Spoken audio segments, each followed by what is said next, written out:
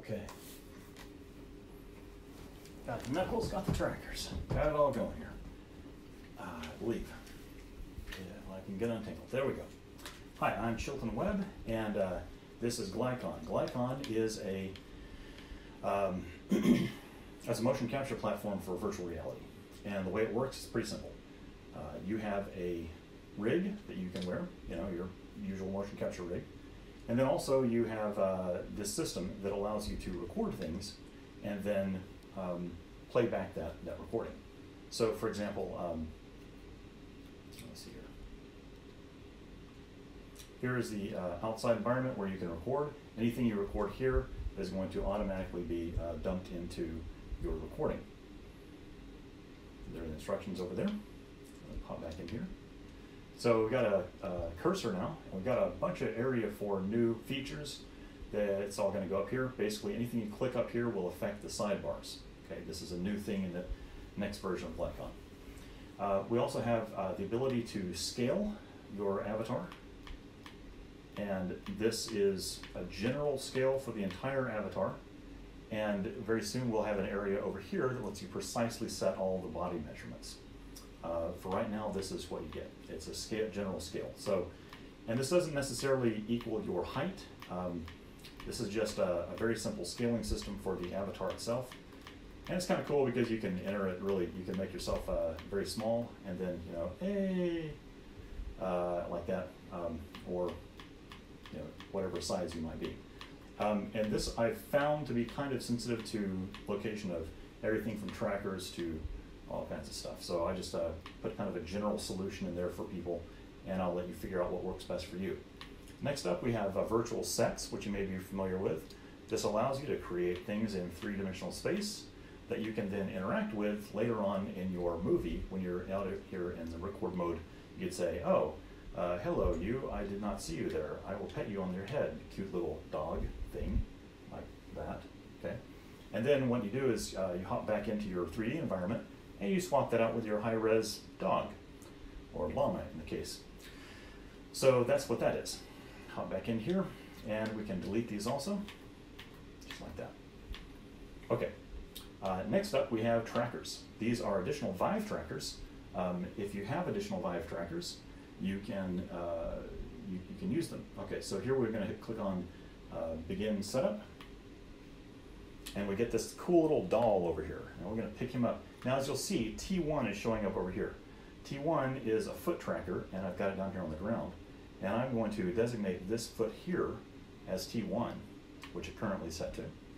Uh, but we're going to set it instead to this other foot over here. Okay, now click Save.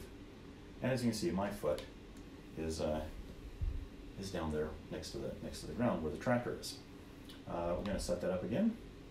Grab this guy again, Click on that foot, T1, save, and now my foot is there. And if I move my foot around, it does that. Now I've got the tracker rotated wrong on my foot. Uh, there we go, a little better.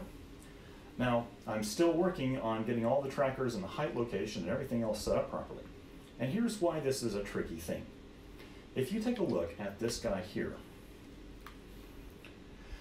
okay, Let's look at his foot for a second. See how the Vive tracker is on that foot? Well, that's at an angle. And not necessarily, your, your foot tracker might not actually match this orientation either.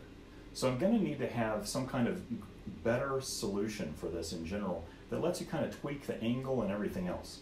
Because right now it's expecting this to be at an angle, and my foot in these shoes is more of a flat. Uh, if I had it, if I had it on different shoes, it would be uh, different. Also, if you'll notice, my other foot is in the ground because it's trying to track the ground for the IK, while this one is in the air a little bit. That's because this foot is attached to the actual location of the tracker and not where the, the, the foot should be the center of the bottom of the foot. So I'm going to need to add a few tweaks here to make this work right. Um, if you didn't have a system like this, it would be really difficult to actually make this work right. So I'm really surprised that people are getting good results at all from other systems because they don't have, a, as far as I can tell, a very elaborate system for precisely setting up all of these trackers. And that's what Glycon is going to have in the very near future. So we've got this here connected to my foot. Uh, I can also attach it to things like my elbow, right? So what I can do here is, I'm gonna set him down for a second. I'm going to disconnect this from my foot. My leg rolling around in circles there. And uh, I'm going to attach this to my elbow. And I have an actual, uh, see it's still attached to my foot. I'm just gonna set my, my foot here on the chair behind me while I grab my uh, foot tracker, I mean my arm tracker, just a second. So I've got this armband, and I will uh, post a video of this in a bit. Um, I bought this armband for ten dollars at Academy. I'm going to put my my uh, hand controllers down while I attach this. And the way this works is really simple. I have 3D printed a special clip that goes on the armband. It'll go on any armband. And all you have to do is attach an armband to your arm and then put this clip on there. So I'm doing this while I have my VR headset on. It's not difficult. Uh, I can fumble around and find my way to find all the pieces to it. Uh, if you set this up ahead of time, it's going to be even easier. And I'm going to just stick this um, tracker on the, it, it, it, partially inserts, and I'll show you um, a picture of that on the website or maybe in this video if I get around to editing the video later uh, I will show you what that insert looks like. And so what I want to do is, I'm going to put this on my bicep, facing forward. Now you can, if you look at the, at the avatar here, you can see that there are a number of different ways you can set that. Uh, in this case, facing forward works really well if you want to sit down. Okay, so I'm going to, you can see my, my foot is attached to that as I add it to my, to my bicep here. That's good. All right, so we got that on there grab these hand controllers and uh, back into this. Okay, so what I want to do now, again, I want to just grab this guy and go over here, and I want to set, first off, I want to set the foot to none and hit save. This will save me a little bit of uh, insanity here. And then uh, go back in here and grab it one more time. And I'm going to set this bicep to T1. Okay? Simple as that. Okay, so now it has incorrectly figured out where my hand position is. I don't know why. Uh, I guess I need to fix that. Let's see what else is wrong.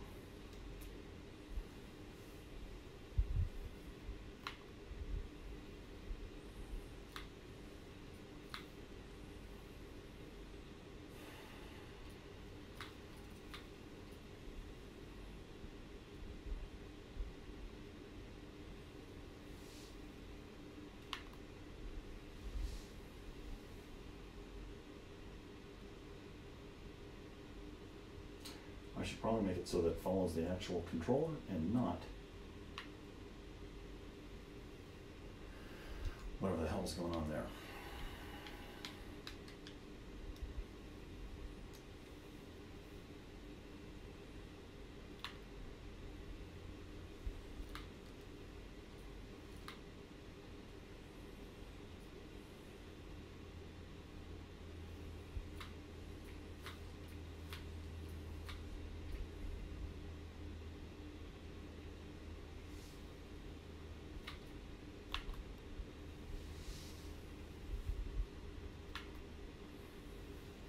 Interesting that it got that correct, though.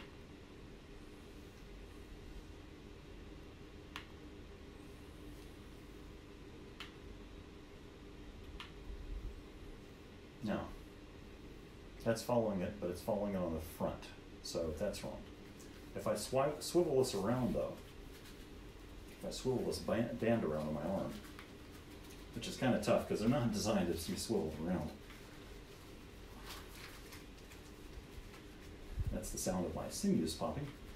There we go.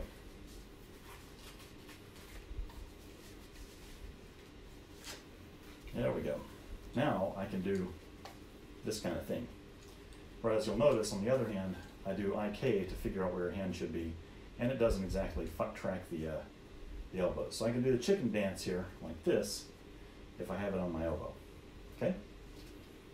I can also aim things, well, a little better it's a little off on the location, probably because of the IK. So again, this is the kind of thing that you can only actually really set up with precise settings for all of this stuff. And that's what's taking so long on this next version of Glycon is getting all the precise movement things working right and the uh, locations for all these things. So let's hop back in here and make my avatar a little taller.